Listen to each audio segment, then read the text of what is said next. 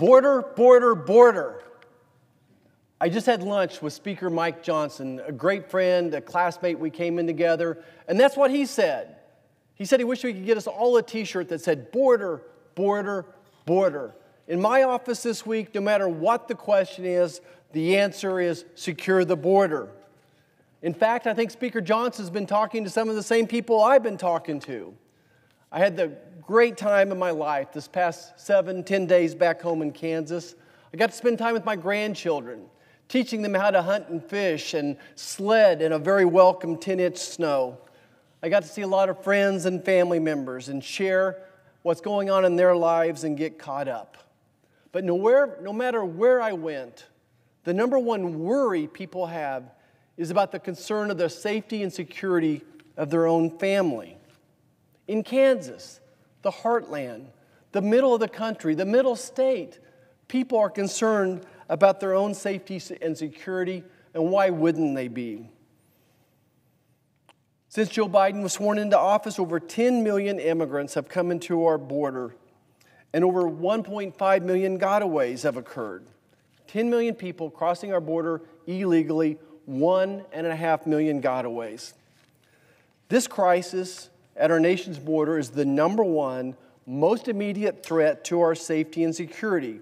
This is a true, clear, and present danger to our nation.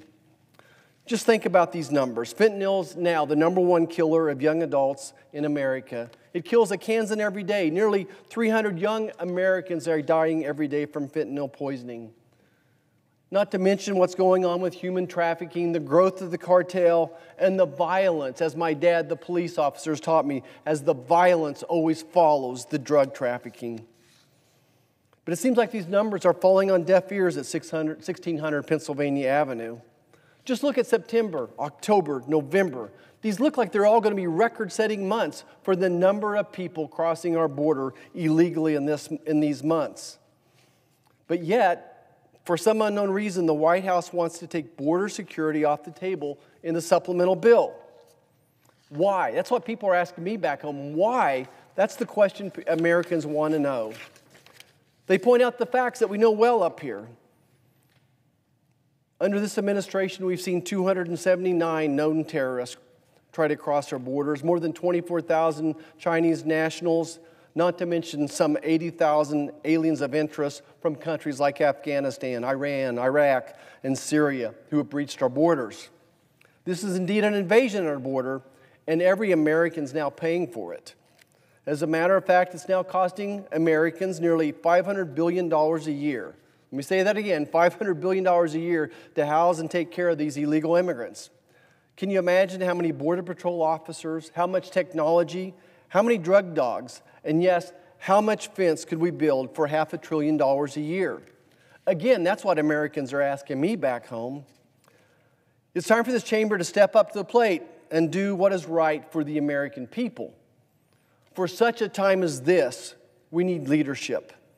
And I'm grateful, I'm proud, and the American people are glad to hear the leadership on this side of the aisle are saying we will deny cloture on this supplemental bill if there's not meaningful border security. This concept of a supplemental bill without taking care of our national security, of sending over $100 billion to foreign lands without addressing our own national sovereignty, well, it actually reminds me of what Abraham Lincoln once said. You can fool all the people some of the time, and some of the people all the time, but you cannot fool all the people all the time. Let my message today be clear. Let's bring on the hard work, late nights, weekends. That's what Kansans do. We work hard. We have those values of a hard work ethic. And I'm certainly willing to do just that, to work hard to get to border security. Look, on this side of the aisle, we're not going to waver, we're not going to quit. This is a once in a generation opportunity to secure our border and to get this right for once. And I urge every Republican to vote down cloture of this outrageous supplemental package unless we see true, meaningful border security included. Now, we've got solutions that this body can send to the president's desk today that wouldn't cost a dime. Changing the asylum policy alone could result in as many as 75% less people entering our nation illegally. 75%. If we just turn off the siren of asylum, we can cut back on those crossing our border some 75%. That would free up the Border Patrol officers to do their job that they were hired to do catching the bad guys, stopping the fentanyl, stopping the human trafficking, rather than playing nursemaid to nearly 10,000 illegal people every day.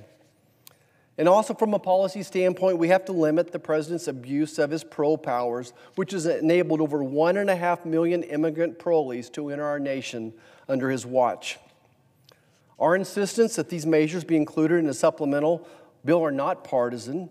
They're not hard right distractions, as been alleged, but it's an attempt to protect the lives and well being of the Americans that elected us and our families, and to assure the sovereignty of this great nation. This is a national security issue, not an immigration issue. It's imperative, it's a must that any supplemental bill includes provisions to address these border issues. Any package agreed upon by all or some of the Senate Republican conference must actually be effective at controlling our borders. A measure that is advertised as stopping the torrent of illegal migration, but is not in practice, would be a devastating blow to the, to the credibility of Republican senators on this issue over the long term and unacceptable to the people we represent. This is why I urge every Republican in this body to vote no on cloture on any bill that does not, at a minimum, include policy changes that meaningfully address the flood of illegal immigration at our southern border. Thank you, Madam President. I yield back.